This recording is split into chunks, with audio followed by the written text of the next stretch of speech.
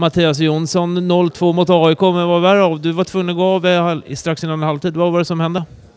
Eh, jag har tydligen fått, eh, ska tydligen inte vara så farligt, ett, ett eh, blodkärl som har brustit i framsida lår och det har aldrig varit med om något, något innan så det, det är väl sånt som äldre människor får, får känns det som, så jag vet inte. Ja, jag kan inte leda dig till rätt där, men hur kändes det? Var det, det smärta eller? Ja, det gör väldigt ont när det, när det gick sönder då, men nu känns det väl ömt och som ett eh, större, ja, en, en mindre blödning. Större blåmärke, mindre blödning, jag vet inte. Jag, som jag sa, jag har aldrig haft det innan så jag har jättesvårt att definiera hur, hur lång tid, men det känns inte som det är något som tar, tar mer än några dagar. Din analys av matchen eller den första halvleken som du var med och spelade? Ja, AIK startade ganska aggressivt på oss. Vi får inte sådär hitta lite...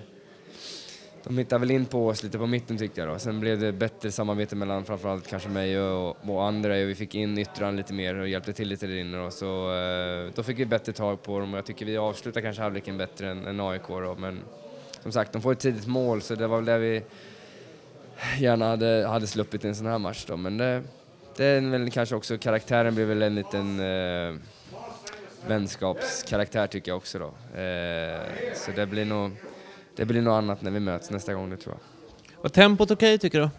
Ja, det tycker jag. Och bra matta och det kändes bra på alla sätt tyckte jag. Bra för förhållanden för att spela bra fotboll. Så det var, det var kul att spela, absolut.